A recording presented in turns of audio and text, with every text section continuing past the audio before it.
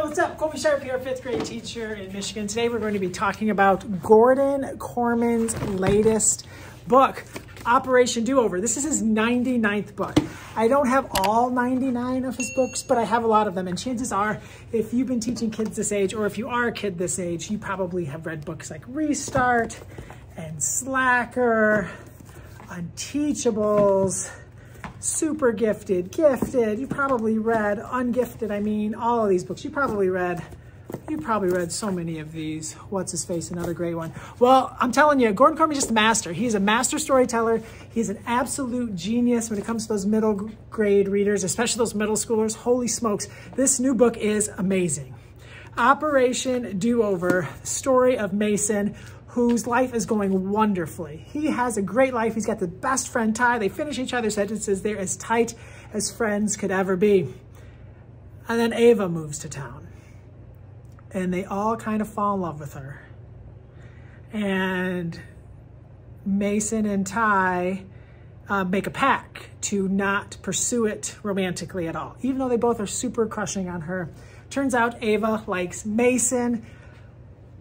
They kiss at the like the festival, harvest festival, and then uh, there's a picture, and Mason and Ty break up as friends, and to never be friends again. Well, this book, what's really cool about this book is it kind of floats back and forth in time. You get a chance to like start with them in middle school, and then you see what it's like for them as seniors in high school where they no longer talk because of this situation with Ava. Even then goes back to when they first met each other when they were really young and how they became great friends. Uh, but most of the book is spent uh, after, so Mason gets in a car accident on the way home from getting in trouble. You need to read the book to find out why. Uh, when he's 17, gets in a car accident and he wakes up back in middle school before Ava came to town while he's still best friends with Ty and he is so confused and so he's like am I dying? Is this part of being dead? Am I gonna go back to when I was 17 like what is going on?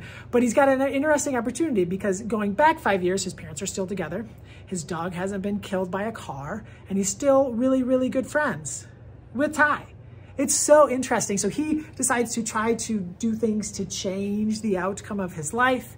He's trying to train his dog to not get hit by a car.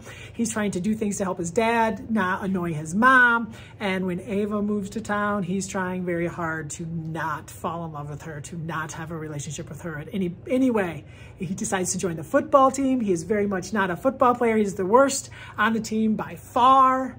It is so interesting. It is so fascinating. Kids are going to not be able to stop reading it. I couldn't stop reading. I even woke up early on Sunday and started reading it. I just love this book. Operation Do-Over is a home run by the master, Gordon Korman. His 99th book is so stinking good. It's going to be the easiest book to book talk with kids. They're going to fall all over themselves reading it. They're going to love it. They're, they're just, you're not going to be able to have enough copies. It's that good. It's phenomenal. It is so much fun. Reading should be so much fun. Check it out. Operation Do-Over, 99th book by the one and only Gordon Korman. My name is Colby Sharp. Thanks for tuning in. Hope you have an awesome, tastic day.